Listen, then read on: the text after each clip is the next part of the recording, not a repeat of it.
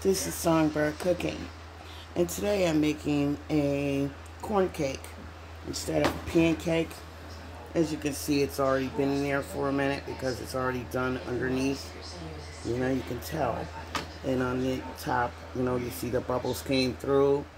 It's almost like dry on the top to the touch because it's done um, just about. It's done on the inside. And now I need to find my spatula.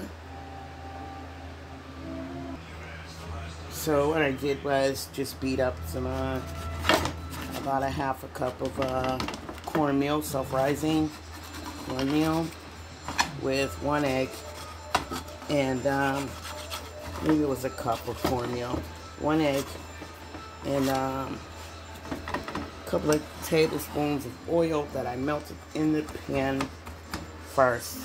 I melted in the pan and then took out uh, poured the uh, melted oil into the mix.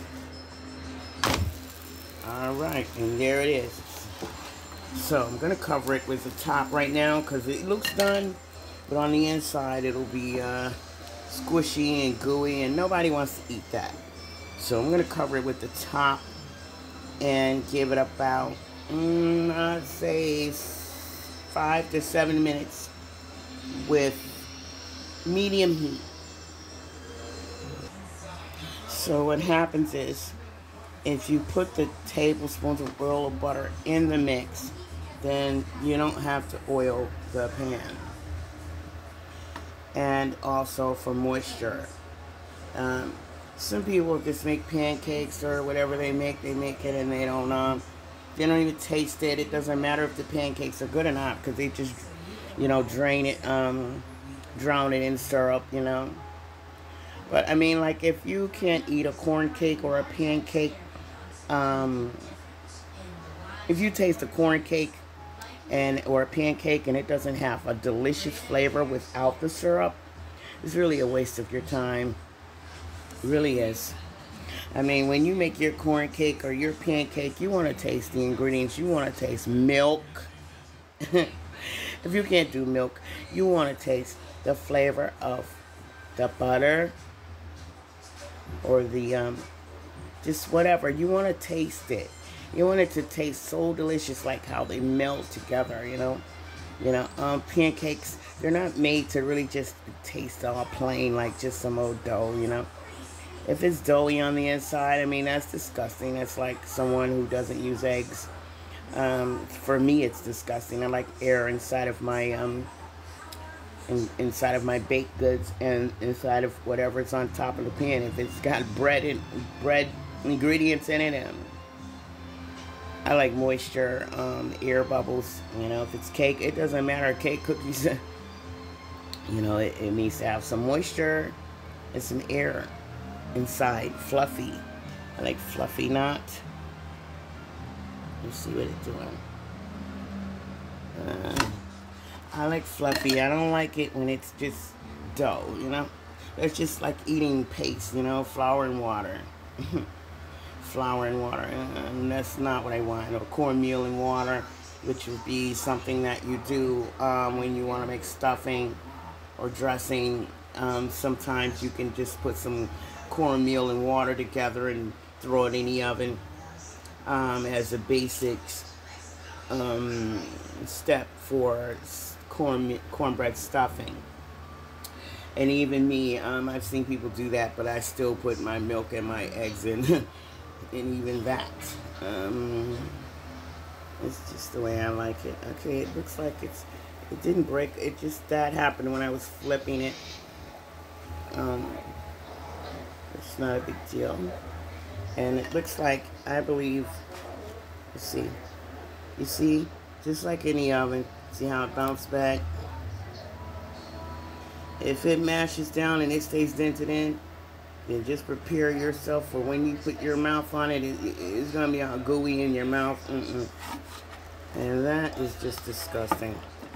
And to me it is. I mean, I don't know about anyone else, unless you like how goo feels in your mouth. Or, I mean, I remember when I was uh, four years old down in... Uh, Alabama, We left uh, Massachusetts, and uh, my mom took me to a church where it wasn't service time. It was um, we were cleaning the church. Well, I wasn't doing it anything. Um, but playing in the room where they had for children. Um, um, and my mom was helping to clean the church. Uh, just her and like a couple of other people, not a lot of people. Um, actually. Um, so while I was supposed to be doing artwork to keep me busy, it did keep me busy. And then I discovered that the glue smelled pretty good. I mean, like they were taking way too long to feed me my lunch or get my lunch or whatever it was. Or, you know, I just didn't want to eat my cornflakes that morning. Or I didn't like breakfast. And I was hungry that day. I was got to be a little bit hungry. They were taking way too long cleaning. And then outside, um, my stepfather had to build, put some bricks, um, make some cement, put a little brick wall over there in the back. I guess I forgot what it was for, what they wanted it for. Um, he had to make build a little brick wall. I was watching that for a while. I was really bored, and I was starving. Went back in the um, art room and um, started eating the glue. It smelled good and it tasted good too. It sure did. But I wouldn't advise. Now I'm a big girl now. You see how I just took that out? It's heavy. You heard it slamming. It's very heavy. It's heavy because it's made out of cornmeal. You know? Made out of cornmeal. That's why it was heavy. But look at that. Mm -mm -mm. See, it's completely done. You can see the holes. Those are the air holes. If you don't have any air holes, you're just going to be eating glue. Like I said, on the ins on the outside it'll look nice, but on the inside it'll be glue. If you don't see any air holes, that's what you're eating, glue. Peace, love, and light. This is the songbird cooking. Now, like I said, as you can see, there are holes, air holes, in this cornbread. You see? If you don't have air holes, you got a mushy, nasty little mess in there. Okay? You see that? A lot of air holes. All the way through and through every part of it. Nice and... See? Air holes. Now, you can eat it with syrup. Or, right here, I made some beans the other day with dry beans. This is the leftover. This is, see, the turkey, it just broke right off the bone and everything. I mean, it broke all the way down to nothing. Look at that. See? Uh-huh. See, that means that um, the um, vitamins from the bone marrow, see that? It's open. So, that bone marrow is good for you. This is turkey. That bone marrow is real, really, really good for you. They pay a lot of money just to go in the restaurant and eat bone marrow. I mean, lots of money. It costs more than your little, than your $5 cheeseburger, that's for sure, because it's healthy. See that? It's really healthy stuff, that, that, that turkey. That's that turkey right there. See that? All the way off the bone. All the way off the bone. Look at that open again for the bone marrow. So I need that. So and then what I'm going to do with this bean juice and this turkey juice is I'm to eat it a little bit with that corn, with that corn cake. And just a little bit at a time. It is so delicious. There's not that many beans left in here. Only thing left in here is, is a lot of nutrition from that turkey. And uh, I don't know what people realize, but I am also the good witch, the clairvoyant. And no, I don't practice it. I'm born with it for those who are not understanding. Don't keep calling me saying, you're not supposed to practice. Well, I don't practice. It's inside of me. and anyway, I'm not going to ignore what's inside of me. So anyhow, when I eat turkey, I have most vivid dreams, premonition dreams, extra premonition dreams. You know, um, only when I eat turkey. I always have premonition dreams. Not every night, but I have premonition dreams, natural. But if I eat that turkey meat, Mm. You're talking about flying, astral projection mm, at its best. And lots and lots of extra premonitions.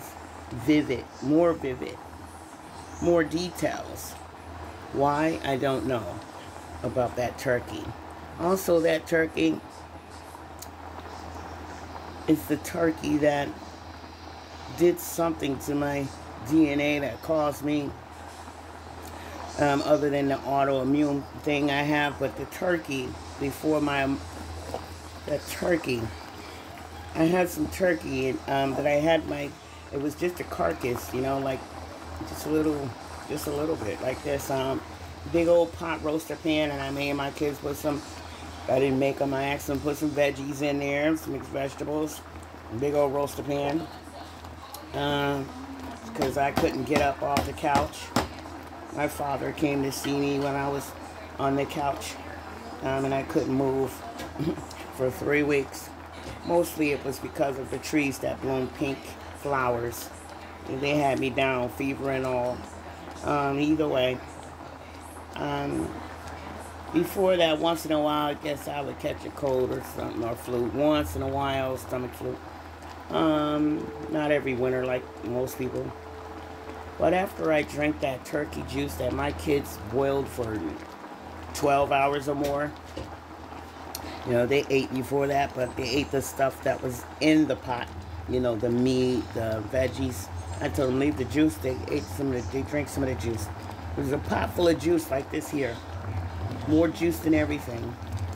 And when I drank that juice, they gave me a, a cup of juice from that turkey. And that marrow and everything had broken down. And when I drank that, I have never ever caught another cold. I've never, ever, ever caught the flu again. I have never, ever had a stomach flu since then. And as a matter of fact, only once have I had that nasal infection again since then. Once. Which, you know, can be cured with Afrin really quick. right there, I have a half a sweet potato from the other day. Um, it's still good. See, it's not it's not real soft. It's soft enough. The see, it's not like so soft. It's just soft enough. Like I guess some would say it's half done. So anyhow, I'll be warming that up and eating that later. Mm-hmm, mm-hmm, mm-hmm. You know, because that's right there. It's good for your kidneys and your liver. That right there is the best medicine you could ever have for your kidneys and your liver. That sweet potato right there. Mm-mm-mm. Half baked or baked until the skin is so wrinkled. You don't need no sugar and you don't need no butter.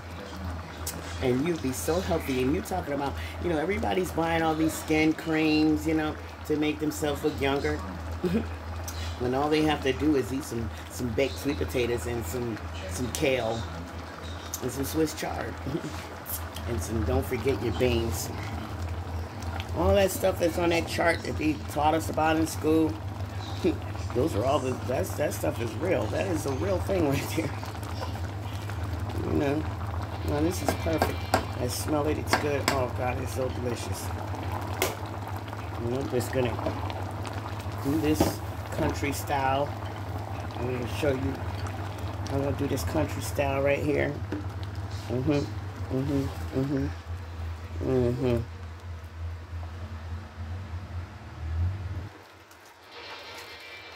Mm-hmm. That's all I need. to See that? Mm-hmm. It's country style. Mm-hmm. There it is. You see?